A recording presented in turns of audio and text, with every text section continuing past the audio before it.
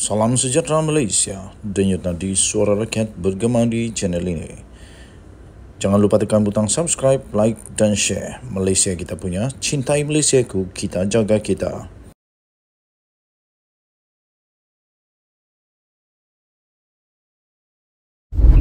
Salam sejahtera Malaysia. Selamat hari Jumaat.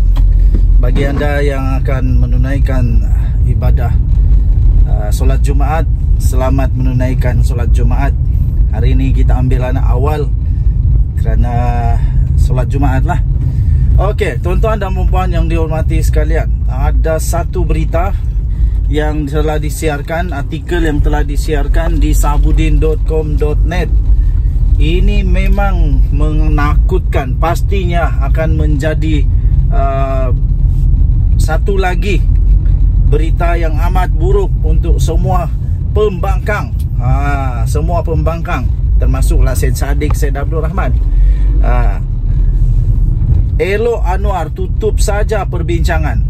Peruntukan dana kerajaan kepada ahli parlimen Pembangkang tak perlu diberikan. Wow! Ini dahsyat. Elo Anwar tutup saja perbincangan. Peruntukan dana kerajaan kepada ahli pembangkang Tak perlu diberikan.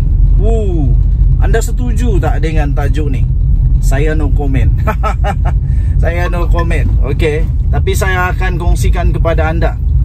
Isu sama ada perlu atau tidak Kerajaan memberi peruntukan kepada Ahli Parlimen Pembangkang Terus menjadi perdebatan tanpa jawapan tuntas. Ha, Sampai sekarang masih lagi uh, tentang perkara ini Bagi Perdana Menteri pendirian beliau mudah. Adalah jelas iaitu jika ahli parlimen untuk blok pembangkang inginkan peruntukan bagi menjaga kawasan masing-masing mereka harus datang dan berbincang terlebih dahulu dengan kerajaan Artinya kerajaan tak boleh dan tak akan memberi peruntukan begitu sahaja kepada ahli parlimen pembangkang tanpa ada apa-apa perbincangan, persefahaman atau perjanjian. Ha, Ada pro dan kontra lah. Kebaikannya dengan perkara ini Pastinya Supaya mengelak daripada ketirisan Mengelak daripada perkara-perkara yang Tak betul bakar berlaku Saya fikir ini bukan saja kepada ahli pembangkang Tetapi juga applicable kepada semua ahli parlimen. Ha, Dalam hal ini Anwar Ibrahim mengimbas bagaimana ketika Pakatan Harapan menjadi pembangkang.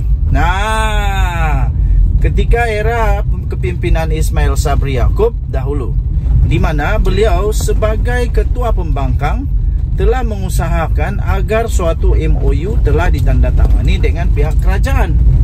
Ah, saya masih ingat lagi tentang benda ni.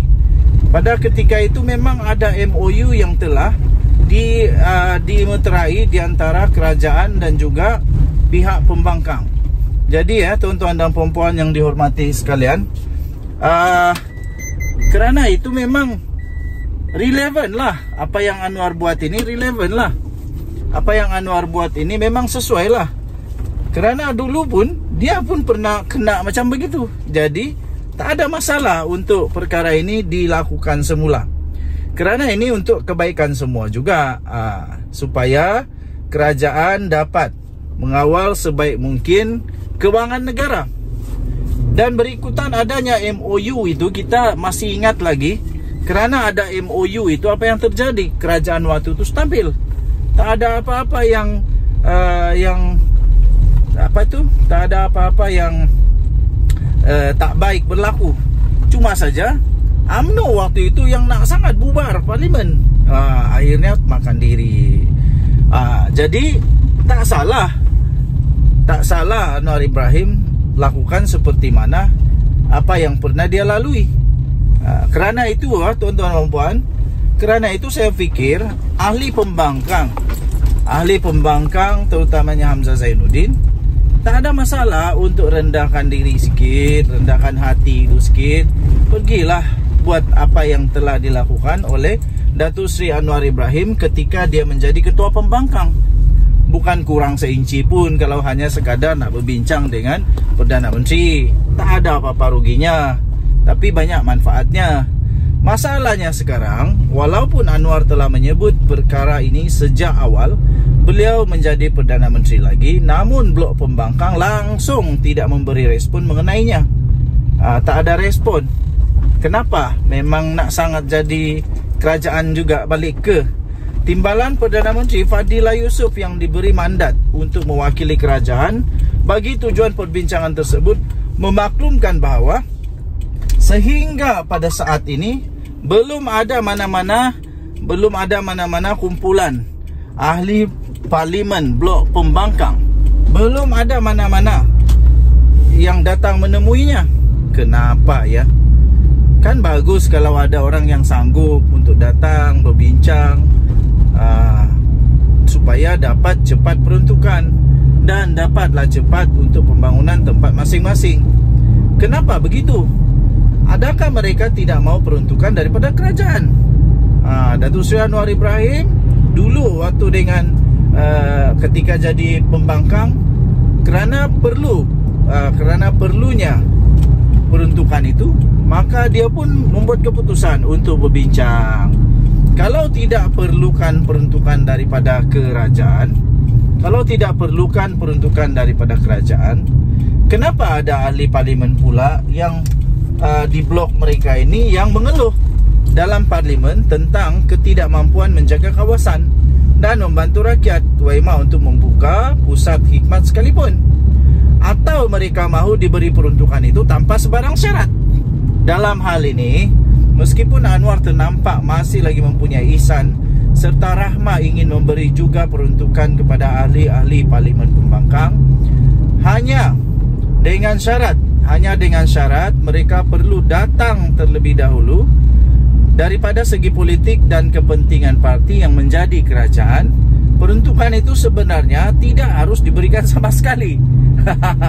Bagus juga lah Anwar Ibrahim ni Perdana Menteri yang yang baik hati. Jadi dia masih ada lagi isan permintaan PN tidak harus dilayan dan hanya ahli parlimen kerajaan saja yang patut layak mendapat peruntukan. Wah, ini tulisan daripada Sabuddin Hussein memang padu, padu, padu.